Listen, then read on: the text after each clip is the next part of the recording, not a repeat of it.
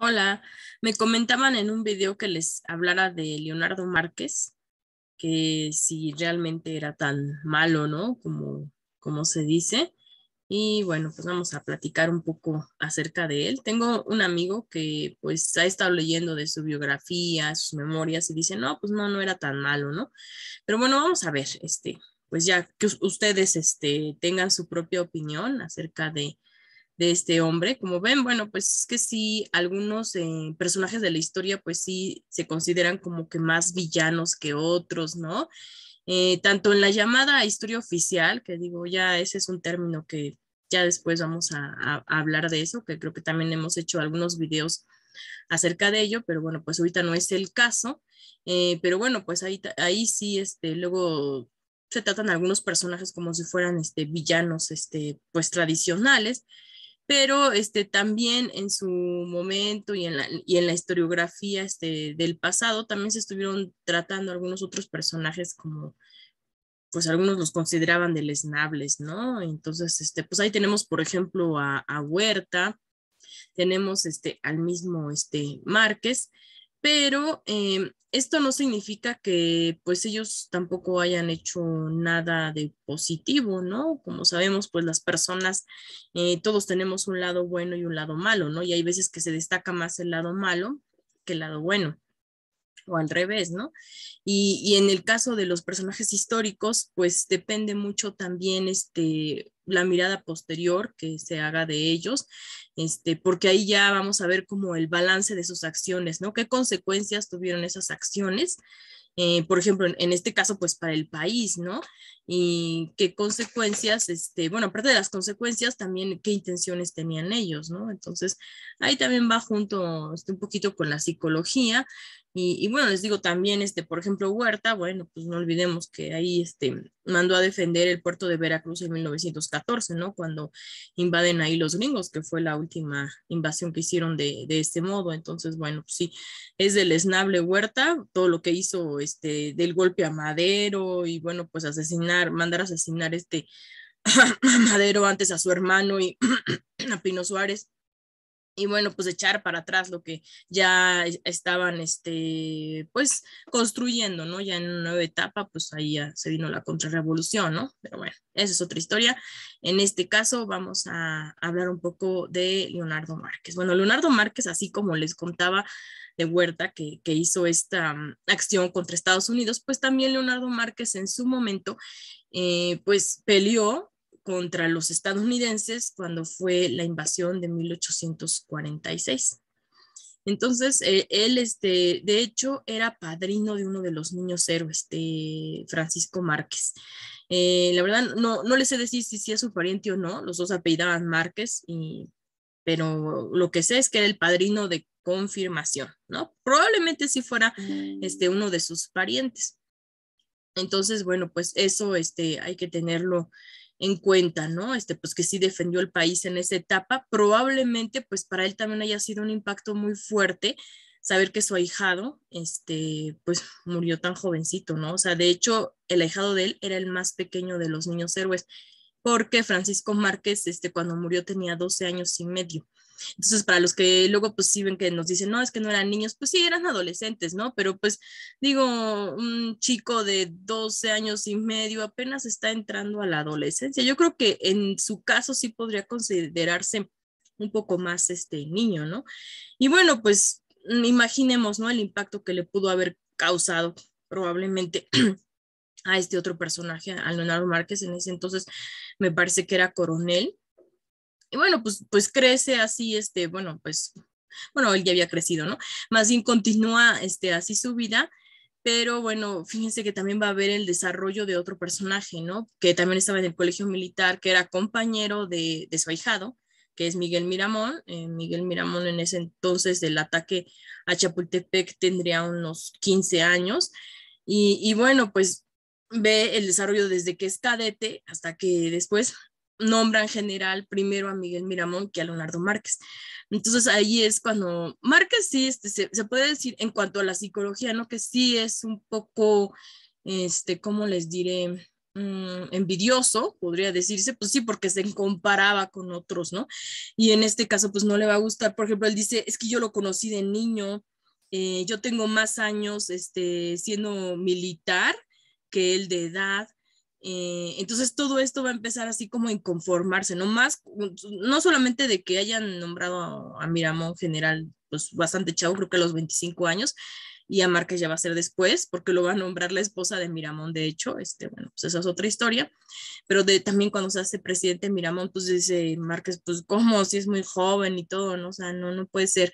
Y, y bueno, esas diferencias se van a notar más ya cuando estén en el sitio de Querétaro, este, y bueno, también se le va a acusar a Márquez esto de que le daba como que malos consejos a Maximiliano, ¿no?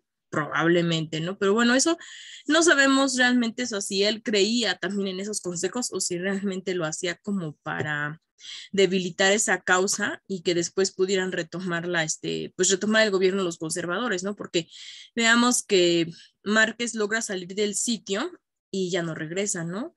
Y él dice, bueno, lo que pasa, o sea, porque él siempre eh, está haciendo este, la forma de justificarse, ¿no? Por eso publica unas memorias posteriormente donde empieza a justificarse de varios actos, como ya había hecho antes, este, una justificación de otros que, que realizó en su momento, ¿no? Que ahorita vamos a hablar de eso, ¿no? Porque pues ya saben que se le apoda el tigre de Tacuba y vamos a decir por qué, ¿no? E, en este caso. Pero bueno, este, en este caso de, de lo del Segundo Imperio, pues él va a decir, ya no pude, ya no pude regresar porque eh, pues estaba Porfirio Díaz ahí, este, bueno, pasó por Puebla y después Porfirio Díaz también cerca a la Ciudad de México. De hecho, este Díaz se va a quedar en una, este, pues era una construcción que, bueno, todavía se puede ver, que ahorita, eh, si vamos ahí en el metrobús que pasa por la villa, que va este, hacia Aragón, eh, pasa ahí justo este enfrente, ¿no? De ahí donde se había quedado Díaz, que en ese entonces era las afueras de la ciudad. Entonces dice, bueno, pues como estaba ahí este personaje, pues ya no, no me dejó este salir, o sea, prácticamente pues ya estaba encerrado de nuevo, ¿no? Pero también Márquez este, se tomaba entonces atribuciones que no le correspondían, ¿no? Como lugarteniente del imperio. El imperio ya había sido vencido, porque pues ya después de que Maximiliano este, entregó la espada y todo eso, pues ya era una advocación también, este, que ya había dejado de de antes, ¿no? Por si lo atrapaban. Pero de todas maneras, este, pues Márquez seguía como queriendo este, controlar, ¿no? Esa parte que aún le quedaba de la Ciudad de México, siendo, como les comentaba, el lugarteniente del imperio, ¿no? Entonces, es probable que este personaje, pues sí tenía como muchos deseos de poder y no los tenía, este, como él quería, ¿no? O sea, no tenía los puestos específicamente que él deseaba. O sea, recordemos que también Maximiliano lo había enviado él a, este, a una misión en Turquía, ¿no? Que porque iban a reconciliar algo de la religión y todo eso, o sea, nada que ver con lo que él era, que era militar, ¿no? Y esto hace Maximiliano tanto con él como Miramón como para alejarlos, este, pues de la vida política, ¿no? Porque sabía que eran personajes pues importantes, ¿no? Pero además eran muy conservadores y, y ya saben que Maximiliano pues era más liberal, entonces los aleja, ¿no? No, no tenían mucho que ver con su política. Ah, mira, lo va a enviar este, pues sí, según a estudiar tácticas militares en Prusia, lo que ahora es Alemania, que no sé entonces era Prusia, y a Márquez lo va a enviar a, a Turquía, ¿no? Este, entonces, bueno, pues no, este, sí, los aleja de él. Y después, por ejemplo, dice Concha Lombardo en su este, diario que ella había escuchado hablar de a Márquez, de que decía, no, Conchita, a mí quien me la hace, me la paga, y que ella consideraba que probablemente, pues, consideraba este Márquez una afrenta a esto que le había hecho Maximiliano, ¿no? Y que por eso le había dado malos consejos en Querétaro y pues era como que mala voluntad, ¿no? Pero bueno, son hipótesis, ¿no? No, realmente pues no sabemos que haya pasado en ese entonces por la mente de Márquez. Él obviamente en sus memorias se va a justificar en todo, va a decir es que no, ya no se podía hacer nada, ¿no? Este, en ese lugar. Y de hecho, pues es que hubo varios intentos de batallas eh, donde se trataron de salir de Querétaro, de romper el sitio, y Márquez así como que las paraba todas, no, no, no, pues no permitió que, que más este, intentaran eso, ¿no? No sabemos qué hubiera pasado. Eh, ya después cuando lo envían a la Ciudad de México con una comitiva, o sea, a quien iban a enviar en a Miramón, pero dice Márquez, no, mejor envíenme a mí porque temo que Miramón vaya a hacer algo, este, que decía, eh, es que con las locuras de la juventud, ¿no? Porque pues todavía estaba más joven que él, entonces, por ansias o ímpetu juvenil, algo así dijo, ¿no? Entonces, este, pues yo como estoy más maduro, voy a pensar más las cosas y eso, y pues se fue, y a lo mejor las pensó demasiado, ¿no? Fue demasiado prudente porque pues ya no se quiso enfrentar con Porfirio Díaz, se, se va, este, huye ahí también, o sea, como que iba a enfrentarlo en Puebla, pero pues se da cuenta que ya, este, trae ganada la situación Díaz y pues, se va, ¿no? Y ya no sale de la Ciudad de México. Esa es la última parte de su vida y creo que nos, este, nos brincamos bastante, ¿no? Porque vamos a empezar porque se le llama el tigre de Tacubaya, ¿no? Eh, ustedes recuerdan que en la guerra de reforma, bueno, pues hubo precisamente un enfrentamiento en Tacubaya entre liberales y conservadores. Entonces ahí eh, lo que hace Leonardo Márquez, y por eso recibe ese nombre, es que va a empezar a fusilar a los prisioneros, pero no solamente a los militares, sino también a civiles e incluso a los médicos que estaban ahí atendiendo, porque le decía, es que, es están atendiendo a los enemigos, ¿no? Pero pues para los médicos era un, deber hacer eso, ¿no? O ellos no estaban distinguiendo entre liberales y conservadores, estaban atendiendo a todos los heridos, ¿no? Pero como estaban atendiendo a la parte liberal, obviamente también, pues dice, no, están apoyándolos, entonces los mete a la cárcel y va a fusilar a algunos de ellos, ¿no? Entonces dicen, no, ¿cómo? Pues por eso va a ser cualificado como el tigre de Tacubaya, ¿no? Ahora él se va a justificar de esta acción y va a decir, este, no, lo que pasa es que Miramón, que en ese entonces era presidente, fue el que me ordenó que hiciera eso, o sea, yo no, no fue porque yo haya querido, fue porque pues él me dijo que los fusilara, ¿no? Pero y ahí está pues como que una prueba en su contra y que después este, va a sacar este Ángel Pola. Ángel Pola después hace biografía de varios personajes y, bueno, pues la virtud que tiene Pola es que no solamente este, pues investiga en, en esos personajes y en sus allegados, sino en, en, ellos, en enemigos, en testigos. Entonces tiene como varias voces ahí y, y también este, ciertos documentos y dice, bueno, pues es que yo le pregunté a, a, otros este, de ahí y, y, pues realmente decían, no, no, no, no sucedieron las cosas así, ¿no? Eh, pero bueno, esto ya lo vamos a ver más este, con el fusilamiento de Melchor Ocampo. En este momento de, de lo de los crímenes este, de Tacubaya, bueno, pues va a salir a la luz después un documento donde sí está firmado por Miramón y dice efectivamente que, que le ordena que fusile a los este, prisioneros, pero a los jefes y oficiales. Nunca se refiere a los civiles, ¿no? Él está hablando de los militares este, específicamente. Y entonces, ¿qué pasa, no? Que Márquez se extralimita y empieza a fusilar, pues hay como, ahora sí que no, no es como Dios le a entender, sino yo creo como el diablo le a entender, ¿no? Así como, bueno, pues como un paragón en, eso, ¿no? Entonces, ese, ese, documento sí está y, y digo, pues sí, e, en parte le había ordenado, sí, fusilamientos, pero no de los civiles, ¿no? Y es por eso que se le llama el tigre de Tacuba. Y aparte después, uno de los hermanos de los que fueron fusilados, este, pues también, él dice que después le fueron a avisar eso a Miramón, que pues que estaba ya Márquez haciendo eso, y que va este Miramón y pues libera a los que pues no tenían nada que ver, ¿no? O sea, como, y ya algunos ya los habían fusilado, pero pues como que para eso. Y eso sí lo va a reconocer uno de los hermanos, este, de, pues de, de ellos, eh, me parece que es Jauregui, eh, voy a revisar, y lo dice también en el juicio este, a Miramón, ¿no? Porque él le toca ser defensor, dice, bueno, pues yo lo que puedo testimoniar es esto, ¿no? Que cuando se dio cuenta, lo que estaba haciendo, pues lo fue a parar y fue a sacar a, varios que lo, lo salva, ¿no? Entonces, bueno, pues ahí queda mal este Márquez como mentiroso, ¿no? Pero no fue la única vez que se trató de excusar de esa manera.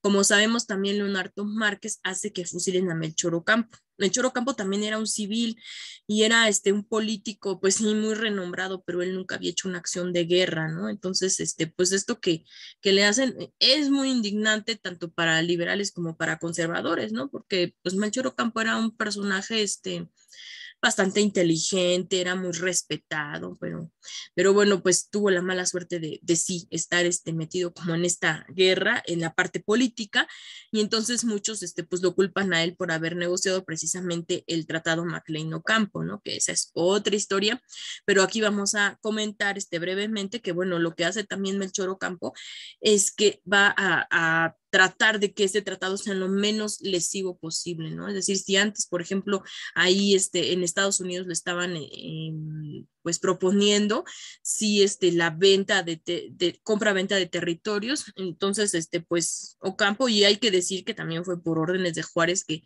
que le dicen, no, no vamos a vender este, esto, porque luego dicen, ay, es que Juárez fue vende patrias y todo eso, no, no, no, o sea, sí era un tratado peligroso, pero le va a decir este, a él que no, este, no comprometan de, ese modo, o sea, no en compraventa, ¿no? sino que era un, paso, ¿no? Sabemos que también era arriesgado, pero no era lo mismo.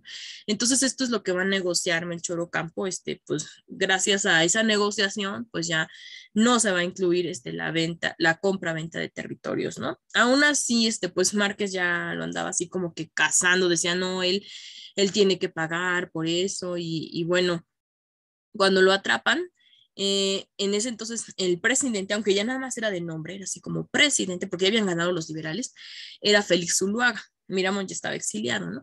Entonces este, él va a decir, ah, no, es que sí lo fusilé, pero fue porque me lo ordenó Zuluaga. Otra vez, ¿no? O sea, como antes había dicho de Miramón en cuanto a los presos en Tacuba y ahora va a decir que Zuluaga, ¿no? Y Zuluaga va a decir, no, pues que yo nunca le dije que a Melchor Campo y en efecto, ahí van a salir los testimonios que les decía que consigue Ángel Pola, ¿no? De personajes que estaban ahí diciendo, no, eso está muy raro. Eh, en realidad es, es, cierto, o sea, no, no ordenó Zuluaga la muerte de Melchor Ocampo, porque les digo que era un personaje muy respetado. E incluso, si ustedes, por ejemplo, ven la película que se hizo de él, ven que estaban, este, pues dispuestos a canjear a varios prisioneros por él, ¿no? Creo que en la película sí le exageran un poco, pero sí era, era verdad, ¿no? Que, que, que sí lo intentaban este, salvar. Y entonces Zuluaga, este, de hecho, la esposa de Zuluaga la, estaba este, en la Ciudad de México, no podía salir, entonces él estaba preocupado por ella y sí quería negociar pero pues se le adelanta a Márquez y lo fusila. ¿Y por qué? Porque va a decir, no, es que nada más recibió una comunicación que decía fusile usted al prisionero, pero se refería a otro prisionero que ya tenían desde antes, no se refería a Melchor Ocampo. Y entonces va a decir, no, pues nos confundimos, ¿no?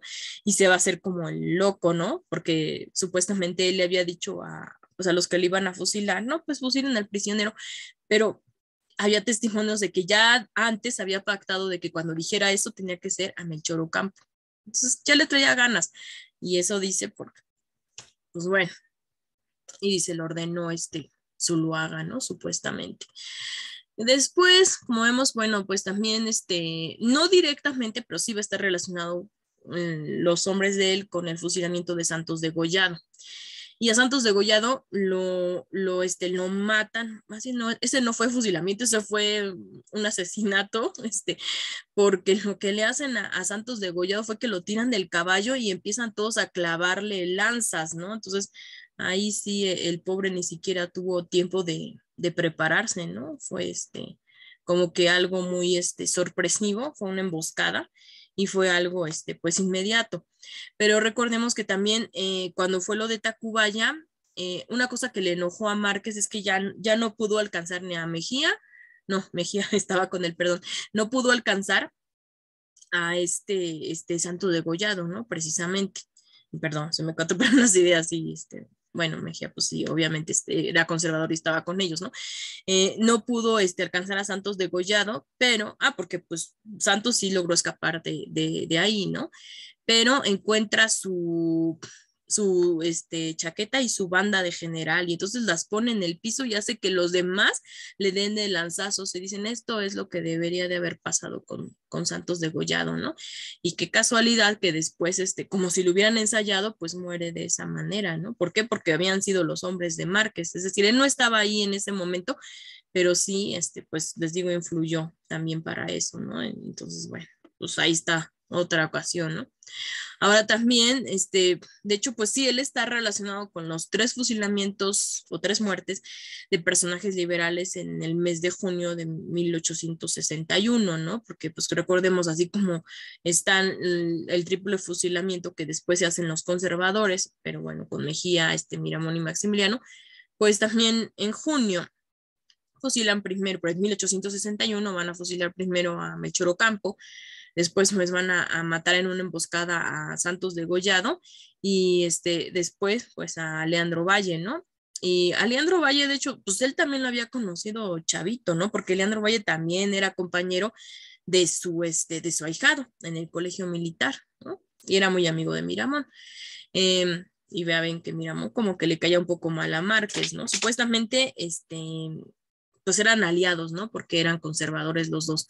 Pero sí había ahí como pues ciertas diferencias, como les digo, pues sí, quizás cierta envidia o comparaciones que se hacía.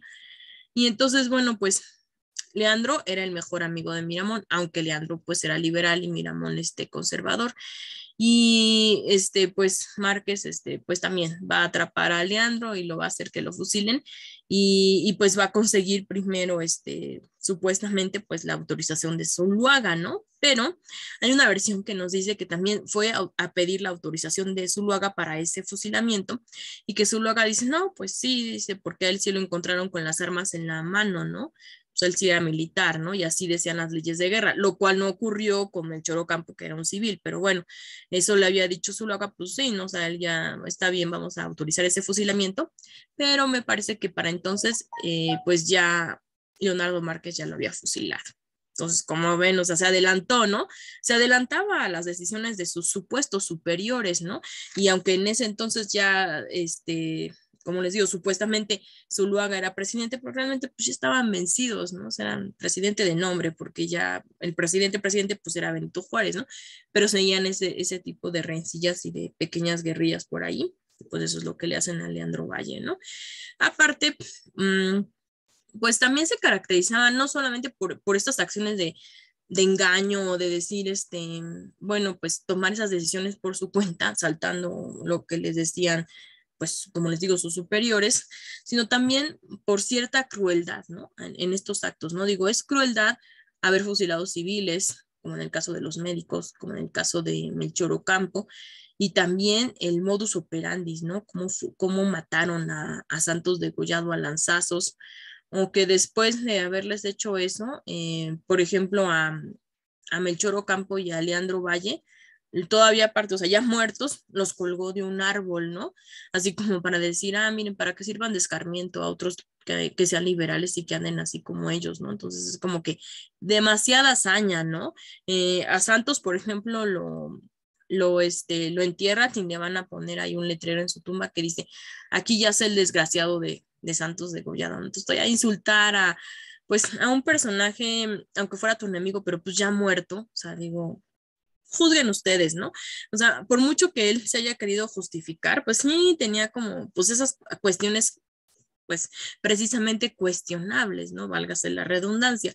Em, aunque como les comentaba, pues en su momento también luchó a favor de, de México, ¿no? Cuando lucha con, contra los estadounidenses en el, en el 46, fue en el 46 pero realmente pues sí, ya después también estas acciones de guerra pues no demuestran mucho honor que digamos, ¿no? Porque también tenemos algunas otras acciones que aunque fueran de conservadores aunque, o que eran enemigos con los liberales, este, no eran tan, este, em, tan crueles quizá, podemos decir, mm, no sé, este, realmente es no sé cómo calificarlo, ¿no? Pero, pero sí eran cuestiones que no. otra cosa, ¿no? También cuando se, ya casi se terminaba la guerra de reforma, eh, pero estaban todavía, este, pues todavía no, se sabía bien quién iba a ganar. Eh, ya casi ganaban los liberales, pero todavía Miramón alcanza a atrapar como prisioneros precisamente a Santos de Gollado junto con Berriozábal, y Benito Gómez Farías, que era el hijo de Valentín Gómez Farías. Y ahí también, este, como que teme que los vaya a fusilar este Leonardo Márquez y mejor se, se los lleva eh, al Palacio Nacional y ahí los tiene, ¿no? Obviamente de rehenes, pero este, pues para que ya no los fusile Márquez, ¿no? Y la versión de Márquez va a ser, no, este, él era el que los quería fusilar, por eso se los llevó, yo los quería salvar, ¿no? Pero pues ahí está, o sea, si de haberlos querido fusilar, pues si los hubiera fusilado, ¿no? Se los lleva a, eso, ¿no? Pero pues sí, los llevó ahí al Palacio Nacional a, apresarlos ahí, ¿no? Ya lejos de Márquez, pero Márquez decía lo contrario, ¿no? En, en esas memorias, ¿no? Decían, mm, yo los quise salvar y Miramón el que se los llevó porque pues probablemente él era el que los quería fusilar. Entonces, eh, siempre justificaba de ese modo sus acciones, ¿no? Eh, otra ocasión también quiso fusilar a Escobedo, eh, bueno, más bien propuso porque no tenía así como el poder para hacerlo. Y como sabemos, bueno, pues Mejía, que también era conservador y estaba con aliado de él, este, pues Mejía salva a Escobedo, lo libera, le da un caballo, este, le da dinero y un guía para que se vaya y no lo fusile este Márquez, ¿no? Y Márquez hasta eso pues sí se entera, pero dice, mm, pues, pues no lo hubieras hecho porque pues si él nos atrapa, pues nos va a fusilar, ¿no? Y como ven, pues sí, después sí tuvieron que fusilar a Mejía, ¿no? A Márquez no porque se escapó. Esa es otra, ¿no? O sea, también dejó a sus compañeros ahí en desgracia. Mientras que, por ejemplo, e, en, Querétaro, pues ahí hay un triple fusilamiento, pues Mejía, Miramón y Maximiliano, y ya cuando están presos, este, pues como que no querían dejar solos a los otros, ¿no? Digo, ya presos porque hubo algunos que en Querétaro sí se lograron escapar. Pero en la Ciudad de México, por ejemplo, van a fusilar a Vidaurri, a, este, a Tomás Joran, y pues también iban a fusilar a Márquez y Márquez escapa, dejando a sus compañeros pues solos ahí en, en la desgracia, ¿no? Sí, se salva y pues ya va a morir este, de viejito, ¿no? En su camita ya este, no, sin esos horrores de la guerra, ¿no? A veces pasa de ese modo, ¿no? O sea, él fusiló a varios y él pues tuvo una muerte pues tranquila, ¿no? Pero veamos, este, pues como les digo, consideremos tanto las cosas positivas que hizo como las negativas y pues es un personaje muy controversial. Yo no lo podría calificar exactamente de bueno o malo, pero me parece que sí hacía cosas incorrectas, ¿no? Indebidas. Este, para los cánones este, de la guerra, ¿no? Porque pues aunque sea la guerra, creo que se tienen que seguir ciertas reglas, ¿no? Entonces, ese eso sería mi opinión acerca de, de Leonardo Márquez. Y pues ya me despido de esta pequeña cápsula. Hasta luego.